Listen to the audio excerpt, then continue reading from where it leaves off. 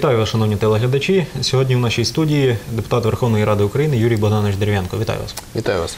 Ну і будемо говорити про е, справи як загальнодержавні, так і, можливо, е, трішечки піднімемо питання, які будуть стосуватись і е, нашого району, однак вже в розрізі все ж таки е, загальнодержавних тенденцій якихось.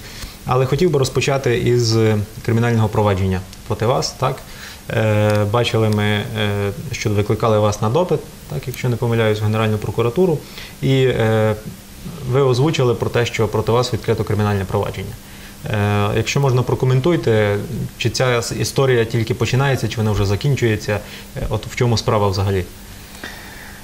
На другий день після перетину е, паном Михайлом Саакашвілі кордону, де я був присутній, значить, е, це було 12 вересня. Генеральна прокуратура раптом проти мене відкриває кримінальне провадження е, за, начебто, тим, що я за 18 років не сплатив податки.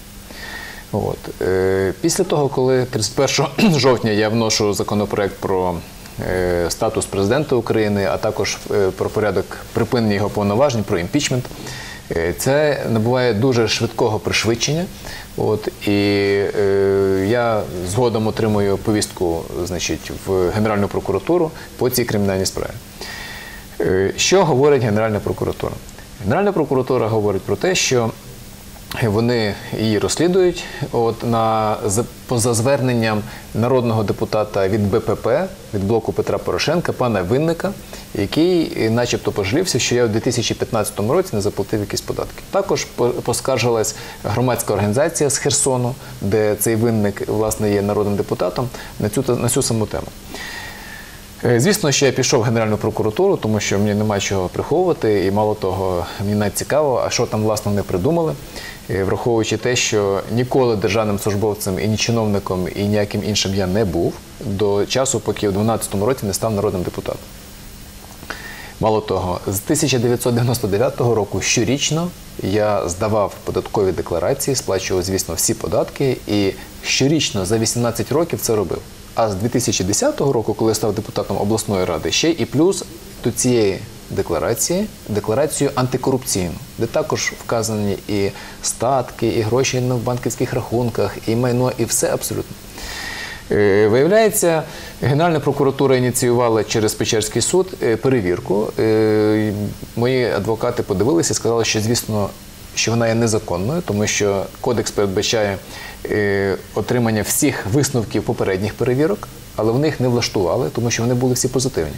От, але поставили задачу зробити нову перевірку е, за 18 років. Ну, власне, вони закінчили цю перевірку, і в Генеральній прокуратурі, коли я до них пішов на допит, вони мені показали акт цієї перевірки. От. Ну, звісно, я був е, вражений творчістю, яка була в цьому акті викладена, тому що за, за результатами цієї перевірки е, інспектор вважає, податково вважає, що в 2015 році я отримав 289 мільйонів гривень доходу в 2015 році. Це при тому, що я офіційно отримав я і дружина, і вся моя родина е, там трошки менше, ніж 500 тисяч гривень е, загалом. А вони написали, що 289 мільйонів гривень. От, і коли я запитую в прокуратурі, де цей інспектор мені дав е, власне акт, я запитую, звідки ви взяли взагалі ці цифри? От звідки ви взяли, от, що саме 289, а не 500 чи не мільярд? От. Вони мені кажуть, ну ви акт візьміть, якщо вам щось не подобається, ви нам заперечення напишіть. От, я кажу, ні, зачекайте, ви ж аналізували всі мої декларації. Ви ж бачили кожного року, скільки я доходів отримав, які я податки сплачував, значить, які- які залишки в мене залишалися і так далі. От звідки ви поясніть, ви взяли цю цифру у 289 мільйонів гривень. Вони нічого пояснити не могли. От, е, просто просили, щоб я е, значить, поставив підпис, що я цей акт взяв. Звісно, я написав прямо на тому акті, що я вбачаю цьому вчинення е, кримінального службового злочину стосовно фальшування даних, фальшування цифр і взагалі якби, замовний характер цієї всієї історії. От, і зараз ми готуємося до, до подати заперечення. От, і розгляд заперечень буде публічний. Тобто кожний рік ми покажемо, скільки було сплачено податків, скільки було отримано доходів, от, і яким чином е, все, що вказано і вказувалось на протязі 18 років, от, е, в деклараціях, е, чим воно все підтверджене. От, мені дуже цікаво зробити таку процедуру ну, з усіма нашими можновладцями, ну, в тому числі тими, хто це замовляє, ну, наприклад, з паном Луценко, ну, наприклад, там, з паном Порошенко, ну, наприклад, там, з головою фіскальної служби і з усіма іншими. Тому що насправді це є такий хороший приклад того, як треба буквально перевірити е, значить, декларації, е, як правильно їх перевірити абсолютно повністю. Тому е, ми готуємося зараз до того, щоб подати заперечення, і я думаю, що ми це будемо публічно робити. От, і це, в принципі, правильно так робити, е, для того, щоб е, познімати всі питання, які е, в такий спосіб сьогодні е, от, отримали ми привіт від пана Порошенка і від генерального прокурора Луценка. То як, як я розумію, е, все ще тільки, тільки починається, так? Так, це тільки починається, і будемо вас ставити е, інформувати, коли будуть далі наступні кроки в цій історії. От на своїй сторінці у Фейсбуці, так, е, так само на сайті, е, ви неодноразово заявляли про те, що е, президентом сьогодні здійснюється узурпація влади, тобто через втручання адміністрації президента в НАЗК, через е, зміни до законів про державну службу.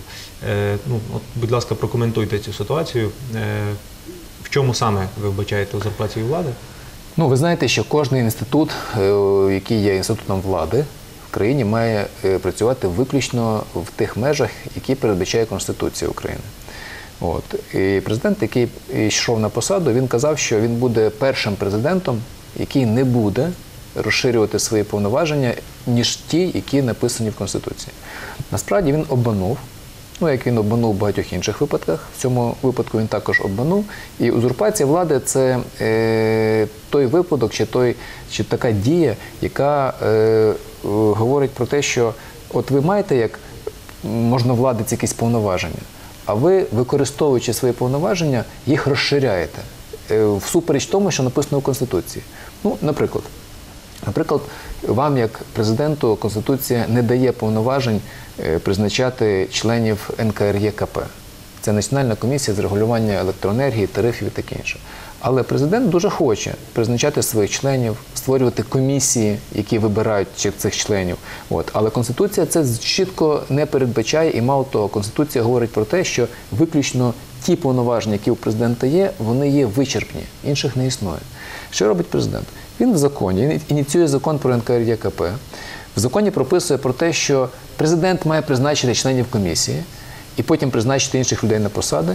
І цей законопроект, коли в Раді голосують, він не повертає назад як гарант Конституції, який мав би сказати, що ви знаєте, тут ви трошки переборщили. Ви мені дали ті повноваження, яких не маю я права виконувати за Конституцією, і вернути в парламент. Він цього не робить, тому що це стосується його. Він підписує закон і каже: ви бачите, закон ж мене уповноважує це зробити. Таким чином, якщо ми проаналізуємо всі закони, які приймалися після е, того, коли Порошенко став президентом, то ви побачите, що він практично скрізь там, де є гроші, банки державні, НКРЄКП, різні, е, рі- різ- різні інші органи, де присутні е, можливість впливати на гроші, скрізь розширює свої повноваження. Тим, щоб або комісії призначати, або людей туди призначати, з тим, щоб впливати на розподіл цих коштів. Далі, коли ми говоримо про закон, наприклад, про державну службу, та сама історія. Е, Державний службовець це губернатор, це був голова РДА. І коли ми е, прийняли закон про нову державну службу, це означає, що ми службовців цих державних прирівняли як до практично людей, які в правоохоронній сфері працюють, які не можуть бути заангажовані політично не можуть бути заангажовані. І це була європейська практика, правильна практика. Що зробив президент на е, останніх двох сесійних тижнях? Він сказав так, що тепер ми повертаємо назад, як при Януковичі, що губернатор, голова районної державної адміністрації можуть бути політиками, вони можуть очолювати фракції в відповідних радах, обласній чи районній. Вони будуть і можуть займатися агітацією на користь президента, звісно. І вони навіть не є державними службовцями при цьому. І при цьому вони навіть не повинні здавати електронні декларації як наслідок. Ну ви розумієте, що це є повний абсурд. Ви розумієте, що президент таким чином, а мало того, і що він буде їх особисто сам призначати всупереч Конституції, навіть без погодження з прем'єр-міністром. Це конкретні приклади узурпації. Мало того, коли е, незалежний правоохоронний орган, який є Генеральна прокуратура, призначається в незаконний спосіб генеральний прокурор, для цього спеціально притягується закон без вищої освіти, а генеральний прокурор, крім того, що він до цього був головою фракції БПП у Верховній Раді, тобто політик, він стає генеральним прокурором. От. Е, це є повна узурпація влади, тобто політичний вплив на незалежний правоохоронний орган, який мав би бути незалежним. Тому я говорю про те, що на превеликий жаль, е, ну е, всі заявлені обіцянки вони розходяться з практичними діями президента, але це небезпечно для кожного звичайного громадянина. Тому що коли влада узурпується, то вона, як правило, використовується для якихось інших цілей, аніж укріплення демократії, для якихось інших цілей, аніж, е, скажімо, там розвиток е, конкуренції чи розвиток якихось інших демократичних цінностей. Чому? Тому що влада, яка узурповується, як правило, використовується для особистого збагачення. Пан президент є олігархом. От і хоче е, ставати ще більш потужним олігархом і ще більш потужним олігархом. Тому, звісно, ці важелі впливу, які він сьогодні натягує на себе і через таку узурпацію реалізує, вони саме цьому е, слугують і саме на це спрямовані. Що можна сказати про НАЗК? Тобто, про От подивіться ситуацію з НАЗК. Ми створили два незалежних органи: це НАБУ і НАЗК. І, е, і по, по тому, як себе вели в НАЗК, члени НАЗК, було видно, що на них е, здійснюється якийсь вплив. Тобто вони замість того, щоб рухатись вперед, швидко перевіряти декларації, е, налаштовувати електронний обмін між базами даних, вони саботували процес, гальмували процес, їх всі жорстко критикували, розказували, які вони некомпетентні, які вони нефахові, кілька членів пішло. Тобто, і ми завжди задавали запитання: а чому так відбувається? І коли ще півроку назад і рік назад стверджував, що президент має на них вплив, ну всі знаєте, це сприймали їх з посмішкою. Але нещодавно, на, на минулому тижні, е, прийшли до нас в комітет е, люди, які працювали в НАЗК, і які просто чітко підтверджують, що їх викликають в адміністрацію президента. І такий є Горешенков, це один із е, помічників президента, чітко дає і співробітників адміністрації президента, чітко дає команди, як декларація якась має бути перевірена, з яким результатом, а з яким інша має бути перевірена, які мають бути рішення прийняті НАЗК. Послухайте, це є втручання в незалежний орган, який гарантований законом. Це втручання президента в те, щоб використовувати незалежний орган, який мав би мати найвищий рівень довіри, на свій розсуд, на політичний розсуд. Тобто це взагалі є злочин. От. І це також е, ті факти, вже які виплили, які президент намагається е, приховати, прикрити. Всі БППшники, які були присутні у нас на комітеті, навіть не дали слово цій людині, щоб вона виступила на комітеті. Знаєте, з ким вони разом співалися і не голосували? З Народним фронтом, з групою відродження, з групою волі народу і з опоблоком. Тобто ці шановні всі люди в лапках, от вони всі разом виступали за те, щоб навіть людині не дати слово, яка хотіла перед мінімум там 15 чи 20 камер, які прийшли телевізійні на наш профільний комітет по запобіганню протидії корупції, закрити її рот, щоб вона не виступала і не говорила. От, і вони практично зірвали, зір- зривають, е, зірвали засідання комітету.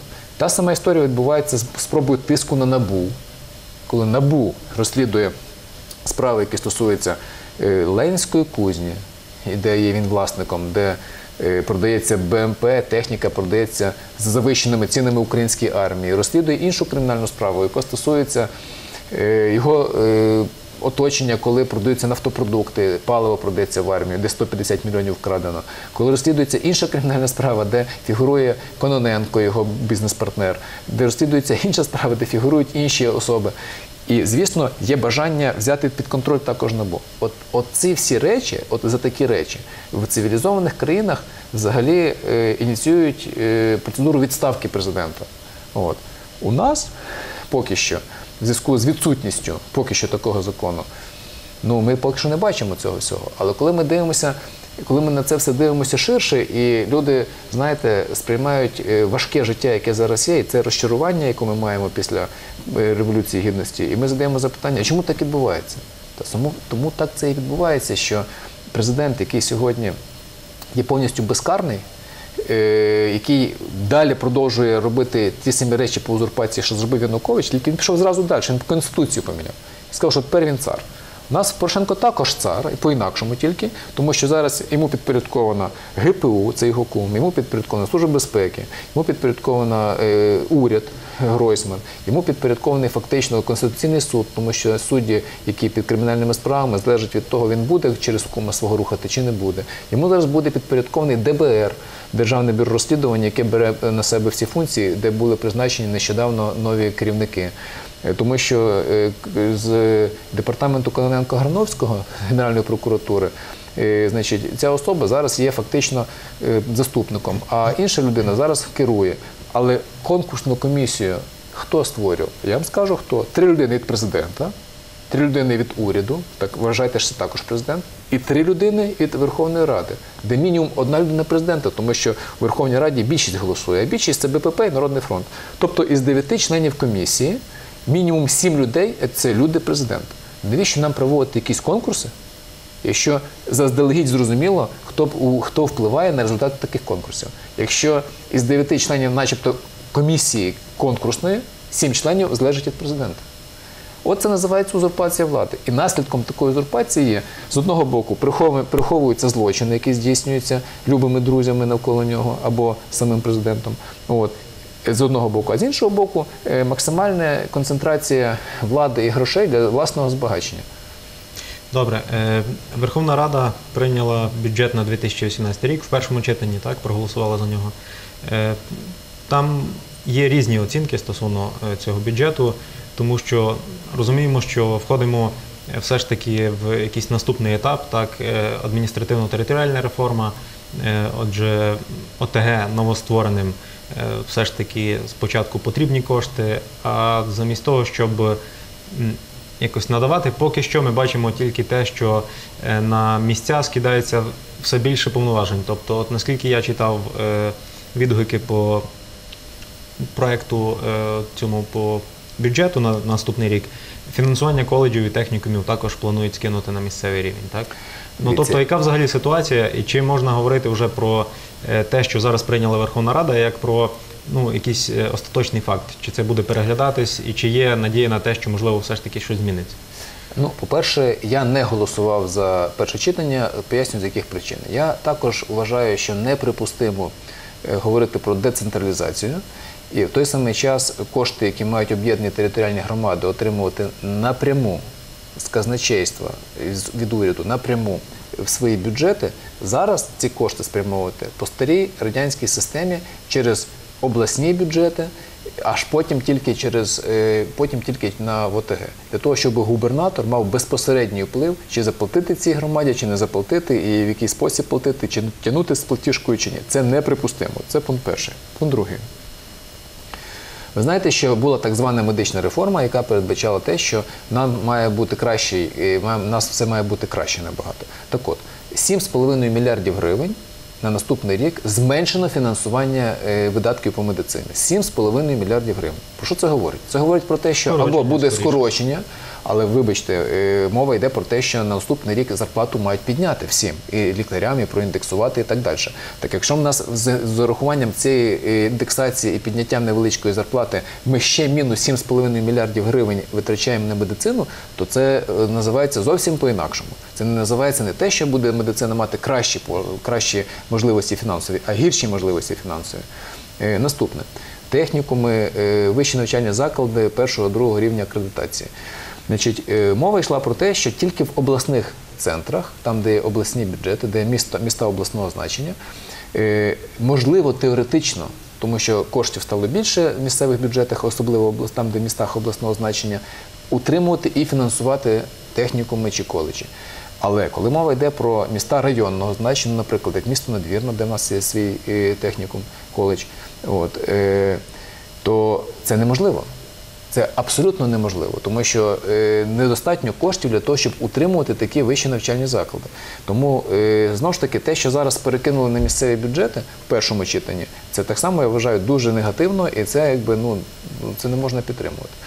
Тому е, в першому читанні е, ми всі зауваження свої надали, всі ті речі, які е, заперечення також надали. Зараз е, чекаємо, чи дослухається уряд, чи не дослухається. Я думаю, що на наступний сесійний тиждень, десь під ялинку, можливо, е, знов буде розгляд вже в другому читанні. Сподіваюся, що всі ці голосні е, застереження від Гройсмана, який каже, що децентралізація не буде згортатися, що все буде як є, ну врешті буде виконано, і ці всі поправки будуть враховані.